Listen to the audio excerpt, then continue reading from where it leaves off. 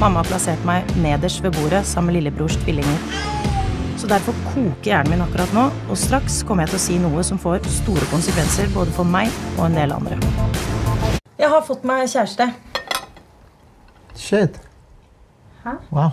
Kan han snart komme på besøk? Du kan ta med deg hjem til jul. Så der satt jeg. Så jævlig sjakkmatt. Løy på deg kjæreste. Ja. Da må du få deg kjæreste. På 24 dager. På 24 dager. Jeg skal hjelpe deg. A piece of cake. Love match. Du har det. Nei. Vi skal oppgradere love life-situasjonen her. Det her. Smil.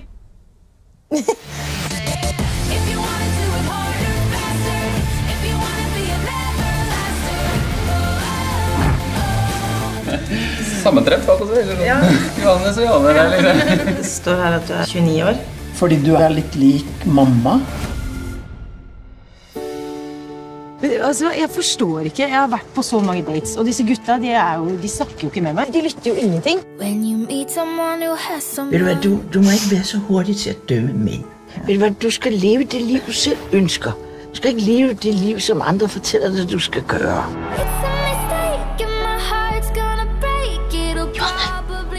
Kom igjen, da. Vi får se om det kommer en etterpå, da.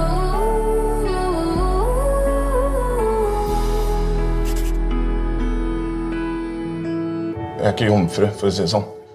Jeg hadde sex med en drage senest i går, faktisk. Så ja.